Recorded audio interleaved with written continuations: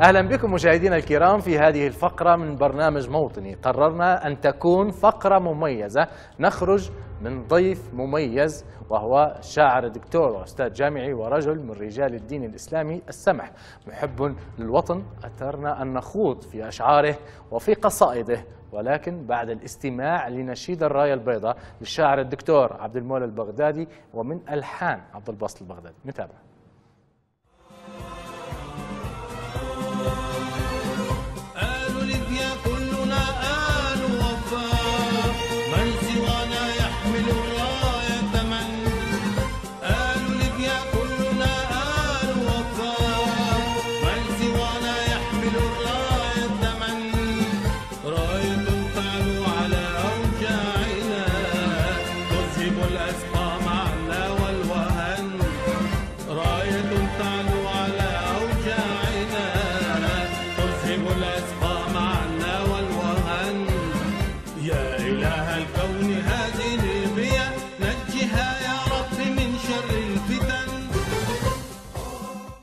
أهلا بكم سادتي الكرام. رحبوا بضيفي المميز والمتميز الدكتور الشاعر عبد المولى المغربي. دكتور الشاعر عبد المولى المغربي أستاذ الدراسات العليا بالجامعات الليبية وشاعر ليبيا الشبابي المشهور. دكتور أهلا بك في برنامج اولا في تصحيح بسيط. إيه.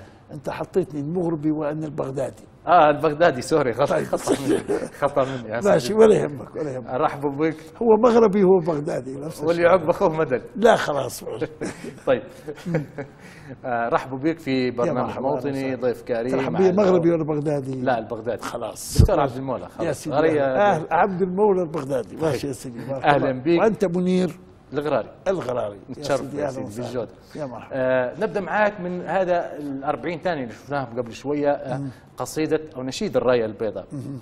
حدثنا عن هذه القصيدة وعن لماذا الراية البيضاء وشن تعني بكلمة الراية البيضاء؟ الراية البيضاء هي فكرة وليدة لحظة كنت أشعر بها بشيء من الخوف على مستقبل هذا الوطن. كنا في أمسية شعرية. بالمدينة القديمة بدار الفقيه حسن. وكانت هذه الإماضة البسيطة وكنا نتحدث فيما نحن فيه. فكان المقترح هكذا ماذا لو تحاورنا حوار الحب وال تحاورنا حوار الحب بعيدا عن أي تيارات أخرى. ماذا لو همس كل أخ ليبي في أذن أخيه؟ يقول له أخي مهما تسعر من خلاف ومهما دار من جدل سفيه ستنتصر الأخوة في كلينا وكل أخ يعود إلى أخيه. هلم إلي واحضني بعنف ستسمع نبض قلب أنت فيه. فليس لقلبي فليس لقلبك المشتاق مثلي وفيا يحتويك وتحتويه. فقصيدة طويلة ولكن هذا ما نحن بصدده عند فكرة الراية البيضاء. راية البيضاء هي راية رأية سلام. التسامح راية رأية رأية السلام محبة. رأية كل واحد مننا يجب لا ينطق إلا خيرا. بياض نفتح صفحة بيضاء في سبيل هذا الوطن. آه، ننزع جميع أحقادنا. آه، هي الكلمات تقول راية بيضاء في كف الوطن تتحدى كل أنواع الفتن.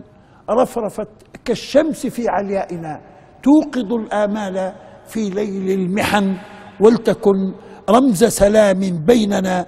إن أردنا العيش في هذا الوطن آل ليبيا كلنا آل وفاء من سوانا يحمل الراية من؟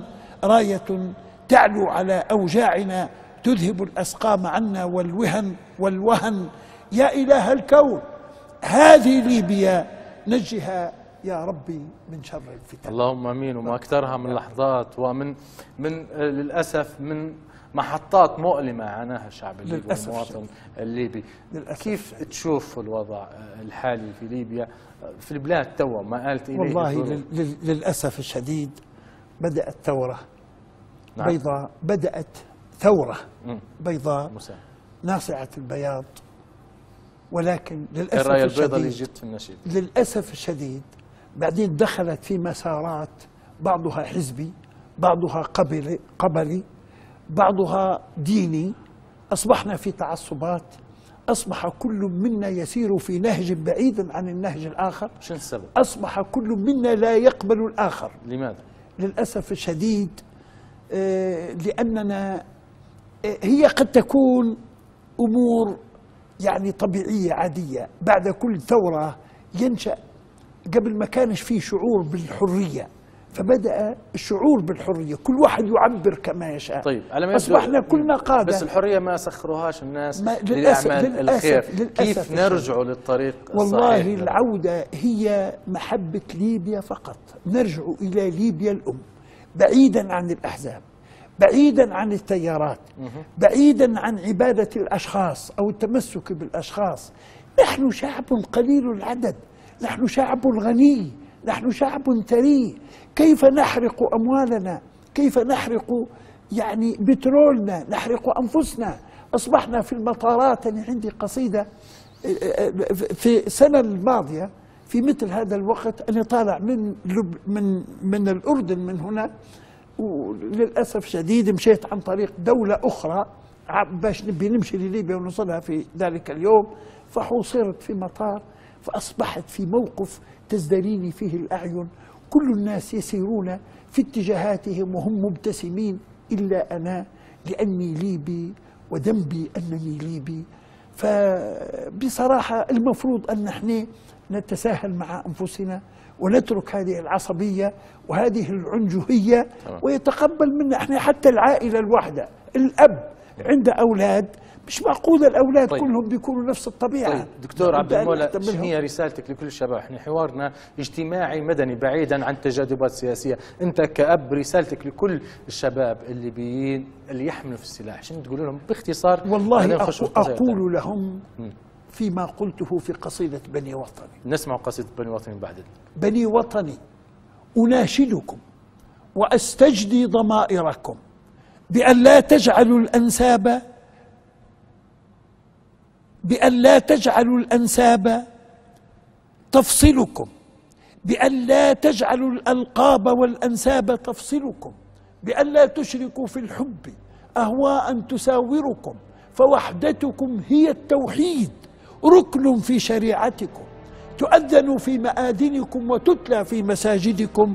إذا انهارت ولن تنهار ما دامت عزيمتكم تحركها عقيدتكم وتعلنها إرادتكم. لماذا يا بني وطني يكفر بعضنا بعضا؟ لماذا؟ لماذا يا بني وطني يكفر بعضنا بعضا ويلعن بعضنا بعضا وينكر بعضنا بعضا ولم يرحم لنا التجريح لا ارضا ولا عرضا ولم نحفل بمن يغضب منا أو بمن يرضى فصار لقاؤنا صمتا وصار حديثنا رفضا وأصبح قربنا بعدا وأصبح بعدنا وأصبح وأصبح حبنا بغضا كأن الله لم يخلق سوانا يعرف الفرض. وأن القائلين بما يخالفنا هم المرضى. فماذا لو تحاورنا؟ فماذا؟ فماذا لو تحاورنا؟ حوار الحب والود ولم نصرخ بتكفير ولا رفض ولا صد. وذاب العقل في العقل وذاب الجهد في الجهد. هنالك يبلغ الليبي أقصى غاية المجد. إن شاء الله. هذا كل هذه القصيده الرائعه بغاية القصيدة. قمة المجد. هذه كل ما نطلعوا لها شباب اللي- فماذا لو تحاورنا؟ فماذا لو تحاورنا؟ حوار الحب. فماذا لو تحاورنا حوار الحب والود؟ ولم نصرخ بتكفير ولا كره ولا بغض. كل واحد منا في يتقبل. الآخر. وذاب العقل في العقل. وذاب الجهد في الجهد. هنالك يبلغ الليبي أقصى غاية المجد في مقطع لماذا أيها الأحرار لم نرحم ضحايانا ولم نوقف نزيف الدم من أشلاء قتلانا ولا زالت بنادقنا تضاعف حجم جرحانا؟ دعونا نحمل الثورة في الأعماق وجدانا وليس مجرد التغ- التغيير أسماء وألوانا فإن الثورة الجوفاء لا تسعد إنسانا ولا تمنع عدوانا ولا تصنع عمرانا ولا غالب إلا الموت إن لم ننتهي الآن. فهيا ننتهي الآن فليس لنا سوى الآن. دور الزرافة لا تصل الإنسان ولا تبني عمران ولا تدفع عبره وليس المشكلة الرئيسية هي السلاح في ليبيا هو السلاح. أنا عندي المشكلة ليست هي السلاح وإنما في استخدام السلاح كل منا يحمل سلاح. وسلاح اللسان هو أحد من أي سلاح يموت الفتى من عثرة بلسانه وليس يموت المرء من عثرة الرجل. لسانك حصانك. لسانك صنع لسان الفتى صار. نصف ونصف فؤاده فلم يبق إلا صورة اللحم والدم. وإنما المرء لسانه. فنحن نحمل هذا السلاح اللي هو سلاح اللسان.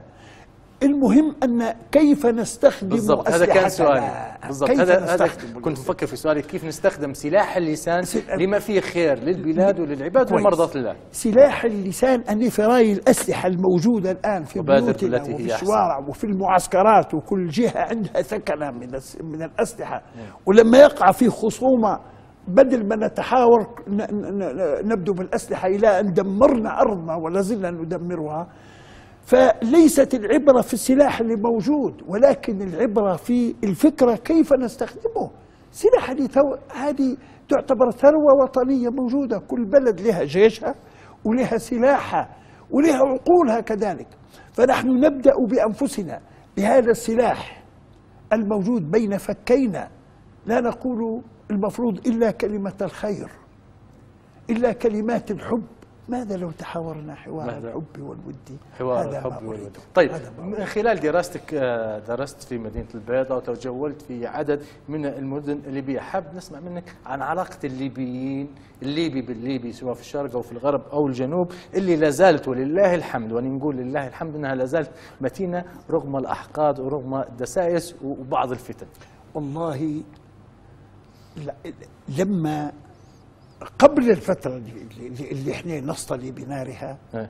كان الإنسان اللي في الزنتان اللي موجود في ليبيا أو من أي منطقة موجود في الزنتان والله لا يشعر صحيح. إلا بالضيافة وبالأخوة كذلك في مصراتة كذلك في تورغة كذلك في طبرق كذلك في في؟ البيضة في بنغازي. أنا عشت في البيضة أربع سنوات. عشتها منعما. هل حسيت بروحك غريب مثلاً؟ والله والله من أحسن سنوات عمري أربع سنوات ومن وستين للخمس وستين شبه التاريخ. وعشنا في بنغازي بني غازي. وهل في الحب غاز سواكم يا بني وبنات غازي. بنغازي هذه المدينة الآن تدمر. في مصلحة من؟ أنا لا عبرة لي بالمنتصر وغير المنتصر. هذه الحرب هذه الفتنة يستوي فيها اللي على الحق واللي على الباطل. كل كلهم كلهم خاسرون. هذه الفتنة عندما تشب نيرانها يصبح كل من كل واحد يصطلي بنارها. لازم. الآن أو أو غدا. كانت ليبيا كلها إخوة. نتنقل. ال- ال- المدن الكبيرة مثل بنغازي مثل آه، طرابلس. ما أعتقد أن فيه فيه منطقة من المناطق إلا موجودة فيها إخوة صح. متحابين. الآن نزغ الشيطان بيننا. وأنا والله أكاد أجزم بأن فيه فتن خارجية بكل تأكيد. وأيادي سوداء امتدت إلينا حقدا وتريد الإيقاع طيب. هل هذه الأيادي السوداء والفتن هل سوف تحاول زعزعة هذه آه، العلاقة المتينة بين الأخوة الليبيين؟ حسب واستطاعت. هم لديهم وسائلهم ولديهم انت شوف الآن حتى كيف الدول نتفطنوا لها إحنا كليبيين شوف الدول. الآن إحنا تقاسمنا العالم زي كأنها كيكة موجودة والعالم كل دولة عندها. مجموعة تناصر فيها وقد يكون هم متفقين. لا أنت زيد أنت إرخي أنت كذا باش نصبحوا إحنا مختلفين. أنا أريد متى يصحو الضمير الليبي بالضبط ويكون الشخص المتشدد مهما يكون متصلب في رايه يتنازل عن رأيه. من أجل ليبيا الحب من أجل ليبيا الأم من أجل ليبيا الخير.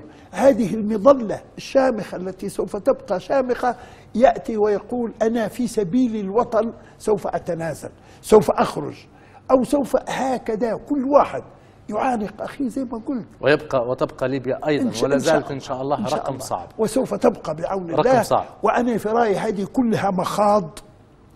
سوف تنجب إن شاء الله وطنا عزيزا. علينا وسوف يكون هناك بعض قصائدك دكتور وشاعرنا عبد المولى في قصيدة ببيتها بداية بيتها واسمها رقم صعب. الأخوة قالوا لي على يبوا يسمعوها اللي هي؟ رقم صعب. رقم صعب. رقم صعب. وهم هيك قالوا لي في الزملاء ولا غششوني زعما. والله أنا ما عنديش قصيدة بالنسبة ل لكن هو عنوان إيه. ذكرتني به سوف يكون قصيدة في المستقبل إن شاء. الله هذا الرقم الصعب هو الرقم الذي نبحث عنه جميعا شو رأيك؟ اللي هي لي؟ نحن نريد الوصول إلى هذا الرقم الصعب نحن الآن تهنا ما بين جميع الأرقام وتهنا عن الرقم الذي يجب أن نصل إليه وأنت اللي سميتها الرقم الصعب على بركة الله. لم تقل بعد وهي ليبيا ليتنا كنا نعمل طيب. جميع حساباتنا حتى نصل إلى الرقم المثالي وهو الذي وهو ليبيا طيب نسمع ليبيا لبيكي الحب. لبيكي ليبيا لبيك ليبيا آه. لبيك هي عموما آه. هي في هي في نفس قصيدة بني وطني آه. هنا ليبيا هي فيه كلمات كلها بسيطة هنا ليبيا هنا وطني هذه كلها في المدارس هنا سري هنا علني هنا عرشي ومملكتي هنا الأشواق تغمرني هنا الصوت الحنون العذب في قلبي وفي أذني هنا الروح التي عادت كما كانت إلى البدن وليس لدي بعد الله تمجيد سوى وطني. إلى أن أقول ألا لبيك يا لبياي إن الله لباك ولبى ثورة الأحرار تحضنها ذراعاك ألا لبيك إن الحب أوله وآخره تجسد في محياك وأن الخير كل الخير منبعه ومبعثه عطاياك وللأسف الشديد بعض الإخوة الزملاء سامحهم الله فهموها كأنها كأن الحب كله أصبح للوطن ونحن نفينا الحب لله إنما. الحب الدنيوي هذا نحن وإنما عندما الحياة أقول. أنا أحبك أو أنت تقول أنت تحبني. هل معنى ذلك أنك أغفلت حب الله؟ طبعا. حب الله هذا الإله كلنا نحبه سبحان الله. أي مثلي يقال أنت لا تحب الله؟ هل أنا غفلت عن حب الله؟ ربي يسامحك لا لبيك. يا لبياي إن الله لباك. نحن نريد أن نغرس في أذهان النشء مدى تعلقهم بحب ليبيا. طبعا. الخسارة التي خسرناها نحن الآن المواطنة. المواطنة زي ما أنتم في هذا البرنامج موطني. هو إرساء هذا الحب. إن شاء الله يا رب. هو حاضر. إرساء هذا الحب. نحن نبحث عن هذه العلاقة. علاقة كل ليبي بمحبته لليبياه ليس بولائه لقبيلته. وليس بولائه إلى حزب مهما كان هذا الحزب ولا إلى شخص. ليبيا هي الأم هي الذي يتجه لها بالحب الأكبر بعد الله تمام. سبحانه وتعالى. آه، العديد من الأبيات بصراحة والقصائد الرائعة التي تتغنى وتتحدث عن الوطن. بس في الجانب الآخر دكتور عندك بعض الأشعار التي ألقيتها تتسم بروح الدعابه أو الغزل. بتختار لي واحدة نسمعها هيك. والله هو الشعر مثل الأحاديث. يا. أحيانا يحتر. عندما يعني وخصوصا في جانب الوطن. في جانب الوطن إيه. أنا عندي الوطن هو يأتي بعد الله سبحانه وتعالى في طبعا الولاء مما لا شك فيه. طبعا. وعندما نتجه جميعا للوطن عندما ننحاز كلنا للوطن ولله كذلك لأن حب الوطن كل من, من الإيمان. طبعا. وحتى الشعر الشعر حتى الرسول عليه الصلاة والسلام. استمع إليه فيه الخنساء الخنساء وهي جاهلية الشعر ثم دخلت الإسلا- الإسلام ومات من مات منها قبل من من من أبنائها قبل الإسلام وبعد الإسلام. تسأل عن كيف رسول الله صلى الله عليه وسلم. فيأتي به الرسول ويقول له إيه خناس أنشديني بعض ما بعض شعرك. وتنشده. والرسول لم يضق لم يضق صدرا بهذا بل بالعكس حتى كعب بن زهير في قصيدته المشهورة بانت سعاد فقلبي اليوم متبول متيم إترها لم يفد مكبول وما سعاد غداة البين إذا رحلوا إلا أغن وغضيض الطرف مكحول وبدأ يتغزل بحبيبته. طيب هذه كانت لابن كعب. بس هذه إحنا كانت- بنسمع الدكتور عبد المولى البغدادي. والله اسمع ما هي هي العملية كلها؟ إيه. أنا لما نجي لي أحمد شوقي إيه. وطني. لو شغلت بالخلد عنه نازعتني إليه في الخلد نفسي. لم تأتي دار الإفتاء المصرية ولا الأزهر وقالوا في الوقت اللي حتى أنا قد لا أؤيده. ولكن الذي يشفع له أن هناك تحيز للوطن. هو ليس ما هو قال لو لو شغلت بالخلد عنه نازعتني ولكنه لم يستفتى. في هل تختار أنت الجنة ولا تختار الوطن؟ كل ما يمكن أن يقال في هذا المجال هي أن الشعر هي خلاصة خلاصة العواطف. ينبغي أن نترك شيئا من الحرية للشاعر حتى يتحدث حتى الشاعر عندما مثلا يمزح فيمكن أن يكون هناك يعني شيء من بين مزاحه زي القصيدة اللي كنت نقول فيها الآن للجماعه ذلك الشيخ الذي سرقت منه المحفظة. ومسكين هو كان إمامنا ويصلي بنا. إيه. ولكن بعد ذلك وجد محفظته قد سرقت. فالشيخ بدأ يصرخ وبدأ يعني مالي يا شيخ شنو في ال- ال- المحفظة بتاعك قال والله المحفظة تزداني لم. يوجد فيها فلوس. طيب الحمد لله. لما قال والله فيها فتاوي. وبعدين الاعتداء على شيخ المسلمين في هذا المسجد معناها اعتداء على الإسلام. فكانت لدي أمسية شعرية في المركز الإسلامي بمالطا كنا في مالطا. ولي. مع مالطا ذكريات كثيرة جدا. ولكن كانت أمسية والذي قدمني هو هو الشيخ. وكان الحضور بعد صلاة التراويح. فقلت له فضيلة الشيخ هل تسمح بنوع من الدعابة؟ قال لي تفضل. فبديت نتكلم عليه إن الشال عندما اقتربت يداه من محفظة الشيخ. وقلت يدن الشال تبحث دون جدوى عن الأموال في جيب الخطيب. فما وجدت سوى قلم كئيب ومحفظة تفكر في الهروب لتحمي نفسها من بخل شيخ يرى حمل النقود من الذنوب. فحين دنت يد النشال منها تداعب سترة الشيخ المهيب أحست بالخلاص. فرافقتها بترحاب إلى اللص الحبيب وقالت للمخلص حين آوى إلى بعض المخابئ والدروب تشوف المحفظة تتكلم تقول له حماك الله من لص ظريف تطوع الانتشال من كروبي أتعرف محنتي يا خير لص يا خير لص يمارس متعة الخطف العجيب؟ لقد أحببت هذا الشيخ حقا ولكن لم أطق ظلم الحبيب. يعاملني معاملة المخالي وقد حشيت وغصت بالحبوب ولم يخرج إلى الصلوات حتى يفاجئني بمظروف عجيب كأن الشيخ حرم لمس جسمي على الدولار والسنت المنيب اللقاء معك دكتور فضيلة الشيخ والشاعر بارك الله. بارك البغدادي لا يمل منها بس آه، قبل ما نختم في هالدقيقة الأخيرة اللي ما زالت عندي تكرمت بها حضرة المخرجة. نبدو كلمة أو أبيات أو قصيدة على خطاب نبذ الكراهية ونبذ العنف لكل الليبيين من اختيارك طبعا؟ والله أقول من هذه القصيدة كذلك. أوكي. بني وطني أناشدكم. مناشدة المحبين بأن لا تجعلوا الدنيا تفرقكم ولا الدين. لقد كنتم بحمد الله أبطالا ميامينا ولا زلتم كما شئتم وشاءتكم أمانينا سوى بعض اختراقات وبعض من حماقات تعيد لنا مآسينا. فلا للعنف والتخويف لا للمستفزين ولا للمسخ والتشويه لا للمستغلين.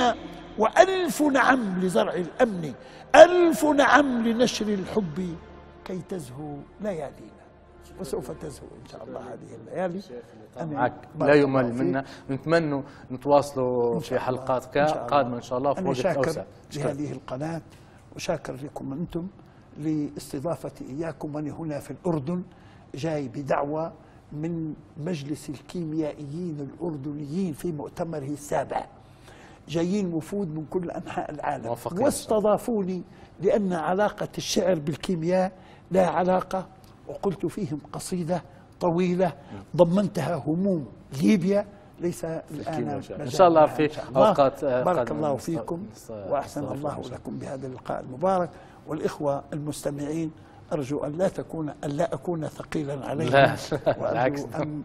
معلش أنت بدل من عبد المولى البغدادي خليتني عبد المولى المغربي البغربي بقى يا سيدي باش تبيني نختم معك الحلقة عبد المولى مني خليني عبد المولى الغراري نتبادل تمام أوكي وانت بتسمى منير. منير من- البغدادي منير البغدادي. تحياتي. سادتي الكرام. تحيات. ضيفي الكريم الدكتور عبد المولى الغراري وتحياتي أنا منير البغدادي في. حلقة جديدة إن شاء الله نتلاقوا الله. الغراري. فلا للعنف والتخويف لا للمستبدين. والمستبدين. إلى اللقاء. نعم للصلح إن شاء الله. بارك الله فيك. شكرا. بارك شكرا الله يا سيدي فيك. شكرا. شكرا. شكرا, شكرا.